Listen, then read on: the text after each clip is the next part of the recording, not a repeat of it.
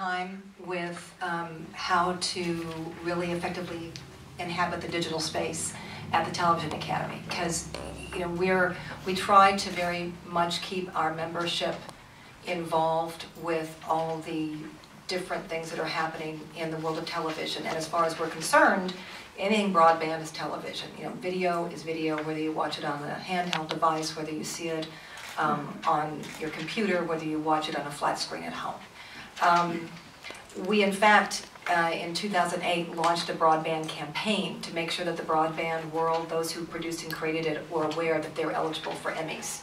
And there are certain categorical you know, ways they can enter, but they can also go head to head with a half hour sitcom or an hour program or a special class or any of those things. So knowing that and starting there, we also have felt for quite a long time that we not only needed just a membership website, which we had had predating my coming to the academy in 2003 as a staff member, but um, we needed something to face the public.